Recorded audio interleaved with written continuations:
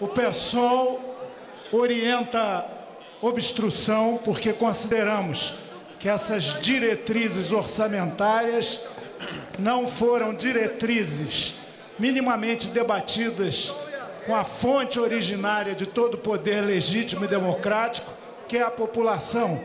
Quando das eleições de 2014, aliás, nenhum candidato, nem mesmo senador Aécio, candidato à época da então oposição, colocou que os investimentos primários básicos em educação e saúde deveriam ser rigidamente contidos, como essas diretrizes agora incorporam e como se quer fazer o reequilíbrio dito fiscal no país.